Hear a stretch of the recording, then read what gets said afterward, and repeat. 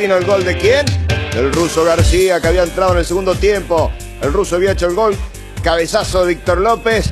Y después, con la pierna derecha, el ruso que se había convertido en el primer partido, que había entrado suplente. Ahora también García entra de suplente. Cristian García, que nació en las inferiores del Club Banfield.